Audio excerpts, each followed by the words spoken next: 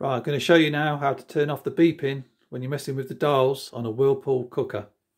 Take this button on the end, press it in, turn it round till you see the language symbol come up.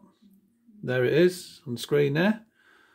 Okay, so now we want to press this button here, one on the left. We're going to rotate it round now till we get sound.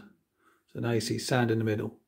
Press this tick button here, off, on.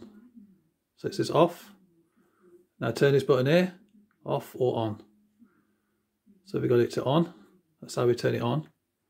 Okay, go back to normal. Now the beeps are on. Back to the language. Press the button. Oh, not that one. Turn this dial. Sound. Press the button. Turn it to off. Press the button. Now the sound's all gone.